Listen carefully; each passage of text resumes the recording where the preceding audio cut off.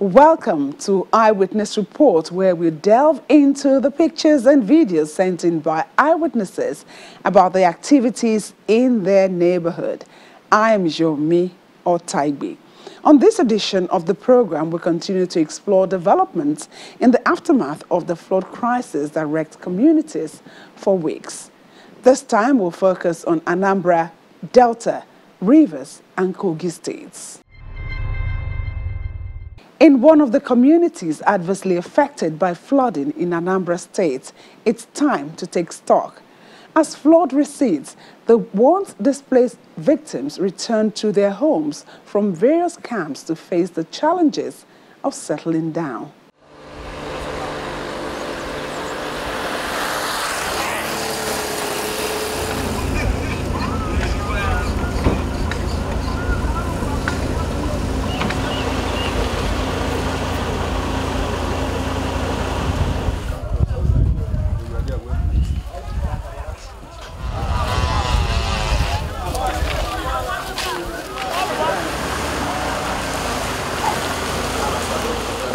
These places. Both rice beans garri everything soak into water. So it's matter of can help. Don't know how we can do the situation again. All this see the measurement of water here. Thirty.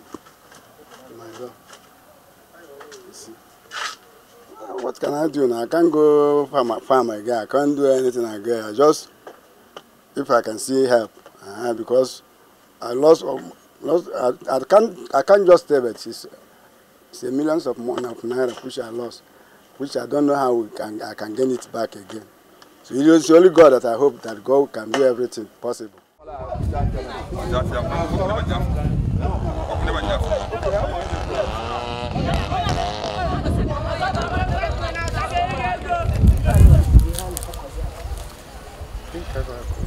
we record a, a, a, a colossal loss in our farmland.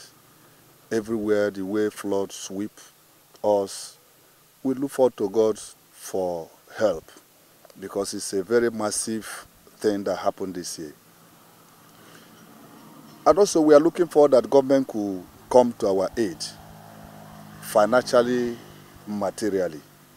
It's nothing to write home about. We've not seen this kind. I've been on 40, I've been 40 years on the planet Earth, but I've not seen this kind.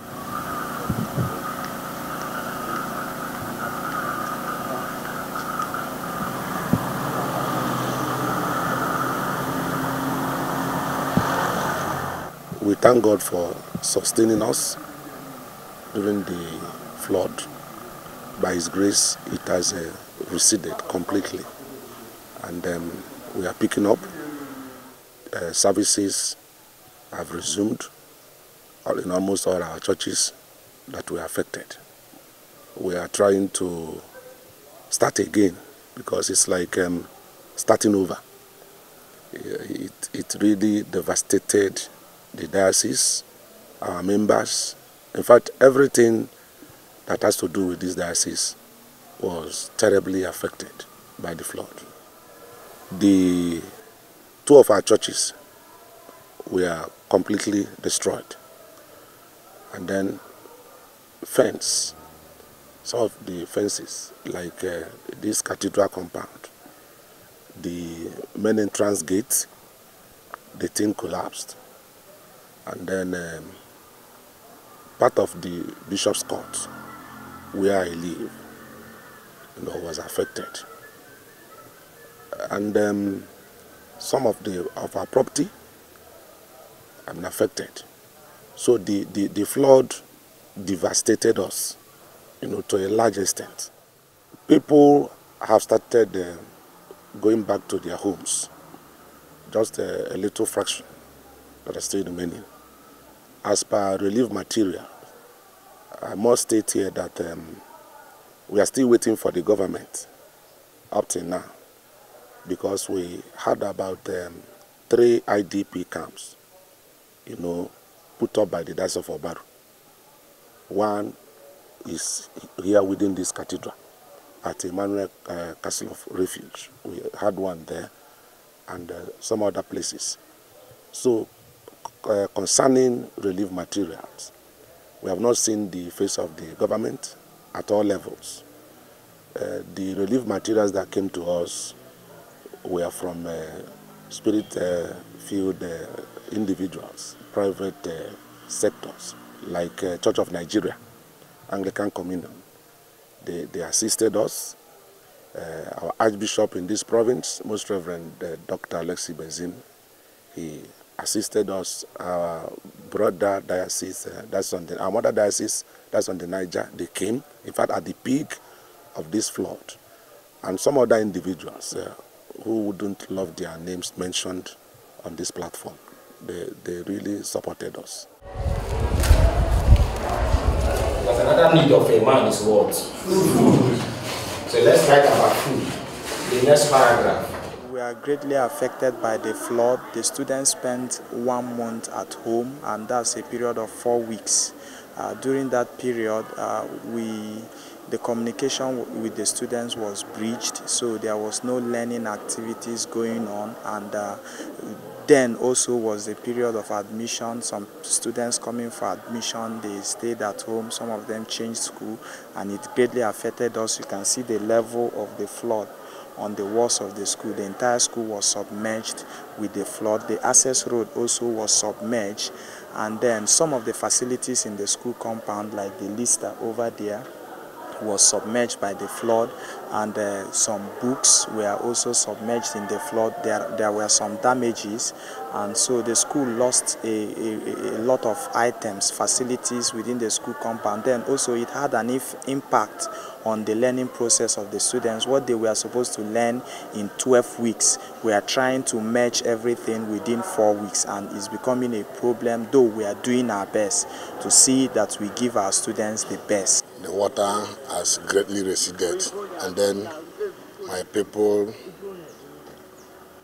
are gradually coming back to their ancestral home. And uh, just like you asked how we're picking, 95 to 95% of my people are farmers.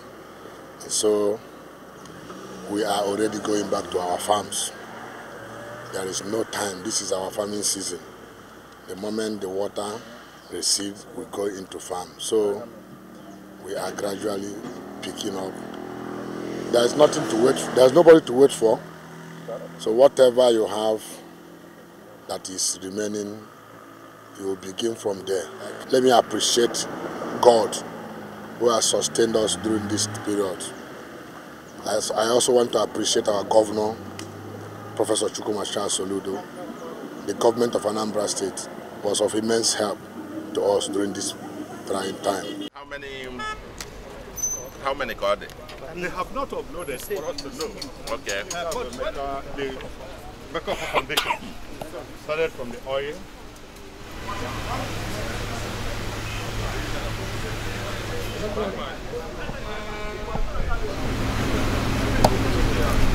By the statistics we got from the governor's office and SEMA, we are aware that seven local governments are affected and you have about 41 internally displaced persons scattered in about 30, 41,000 internally displaced persons.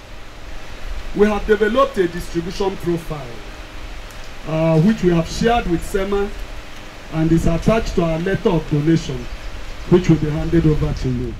And I hereby receive all these donations on behalf of the people of our So, here we are, Anambra, facing these emergencies, and now, well, we try to grapple with it, and I want to commend our officers.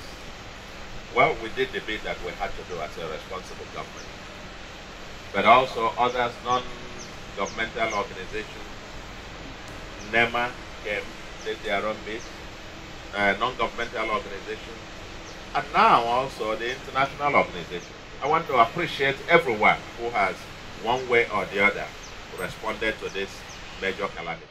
The Delta State government announced the closure of IDP camps across the state as flooding recedes.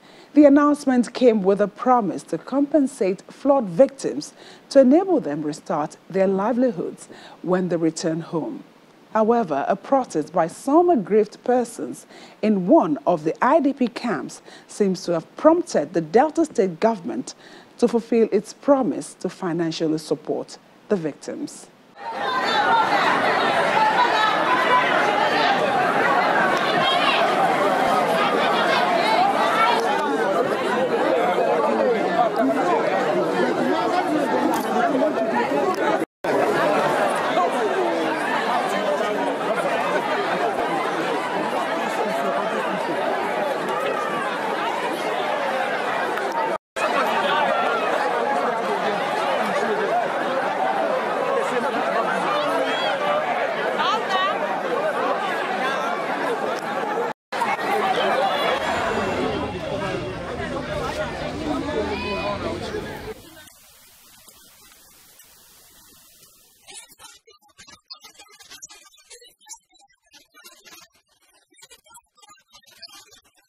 You saw them today, they were very happy when they received the pact given to them by the governor of the state.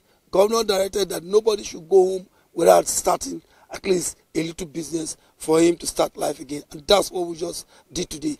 The, the, the faces of those persons who were in the camp were better than it were when they came to the camp because they felt when they were camp they were suffering and thinking of how they would start life again.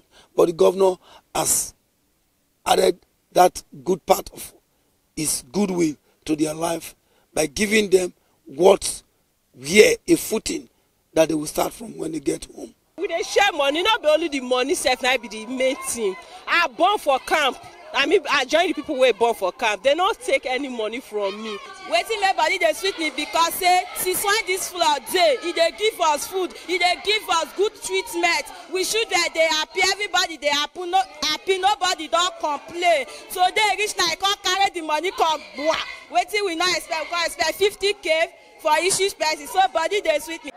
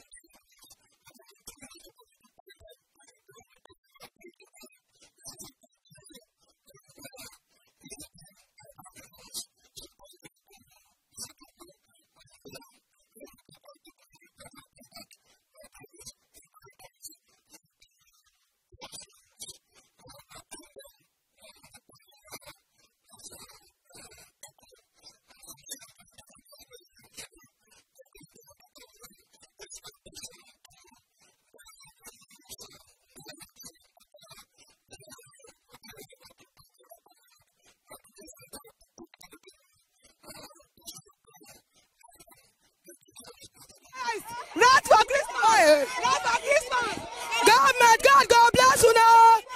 God, God bless you now. God, God favor now. Welcome back. Even though flooding has receded in Kogi State, some internally displaced persons at various designated camps are afraid of returning to their communities because of the wreckage done to their homes. This development comes as the state government takes delivery of drugs and medical kits from the World Health Organization to tackle post-flood health challenges in the affected communities.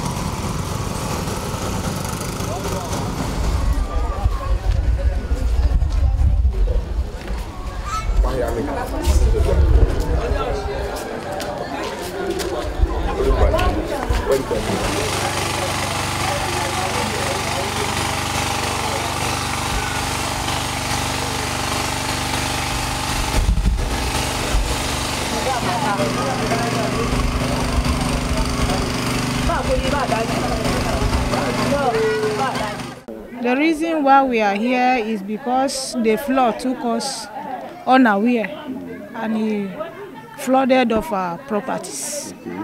And some of our house is lost inside the water, fell down. And since where we come here, at least they are helping us with little, little food, but it didn't reach us. Because in a room, each room from room 1 to 7, some of us are 50, 52, 53 inside a class with the children, children that didn't catch children is adults. But uh, when they bring this five, uh, this uh, five kilo of rice or 10 kilos of rice, they will give us like uh, six pieces to each each room. Like that, maize and uh, beans to each each room, six each of them. Calculate it to, to how we can be able to share within ourselves how the food can be able to reach us. To me, if government can help us to relocate to another place, so that they should build a quarters mm. for those flood victims like us. Mm. Those most of us that our house get collapsed, they should build a place for us so that we will relocate to that place. Then our former place, if government can assist us even to break that to further place down. Mm. For some of us, some of us will just go to that new site and think claim their former burial place, which is not good. So for the, for solution to this thing, to me, if the government can assist us to look for a place, a new site for us, so that we will relocate to that place.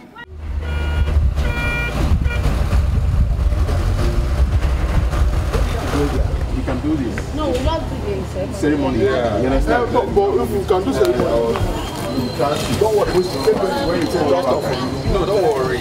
It's so that this ceremony to find out what you found out. Just give him this.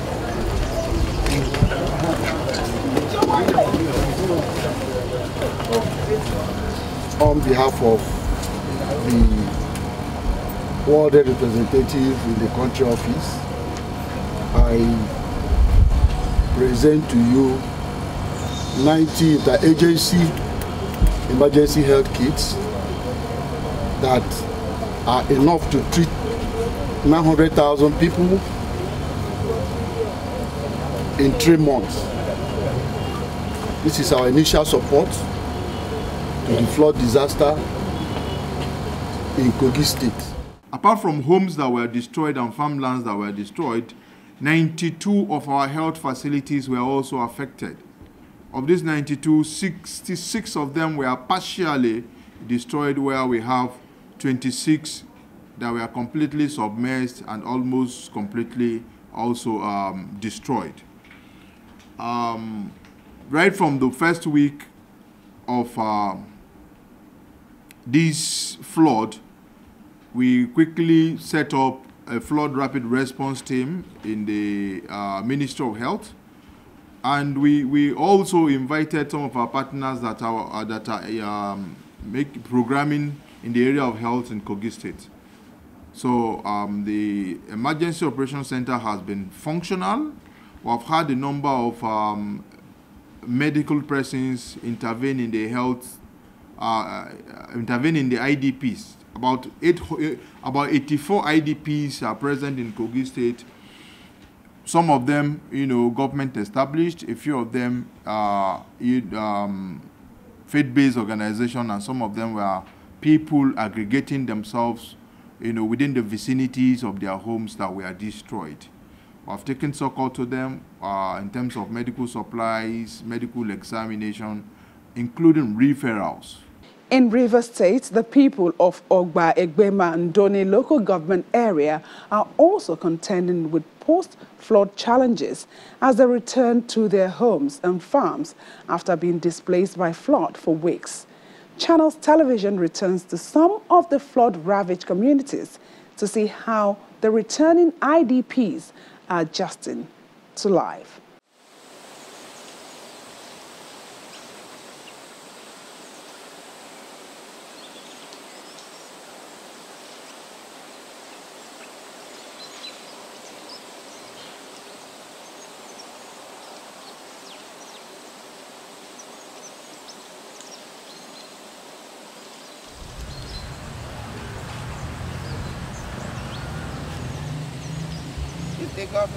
How do you get you? I think. I want to come do money.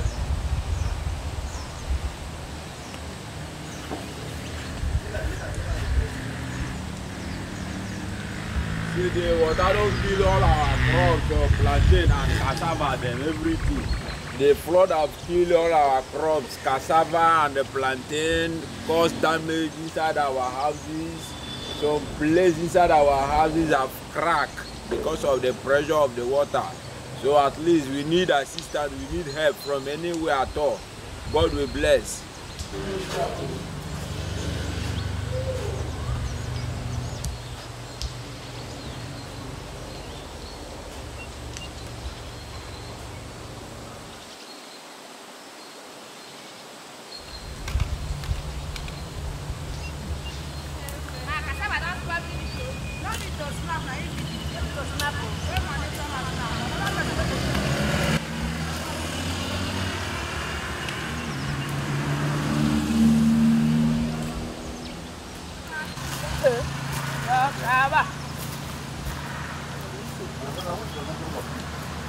Yes, yes, yes. One of these, uh, of these, you know.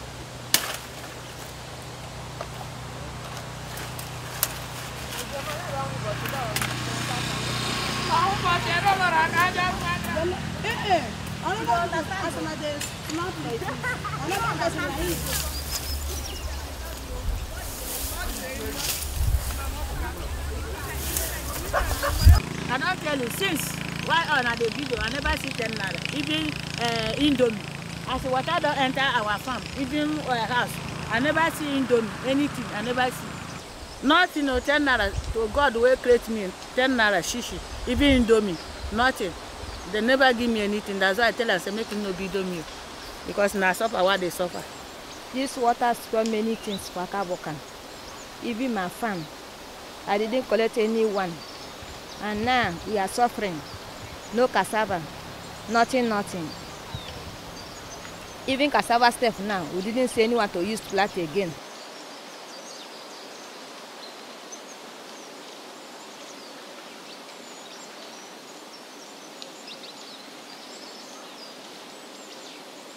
Post-flood uh, uh, mitigation to the people of Obebe Mandoni, uh, we have provided about 25,000 uh, bundles of cassava stem. This is species STMD 419, you know, to the people, and it's a very good one.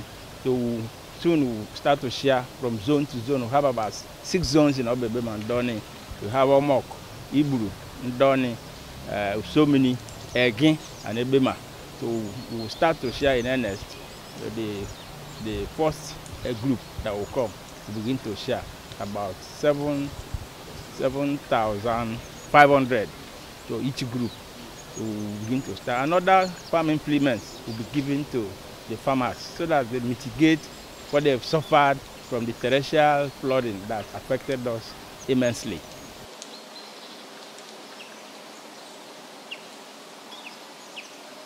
On behalf of the local government chairman of Oba Emmanuel local government, Honorable Vincent Joe JP, I present to you this cassava stem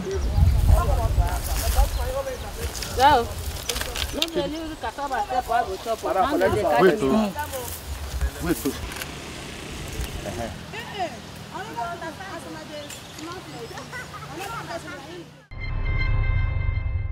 That's the program for this week.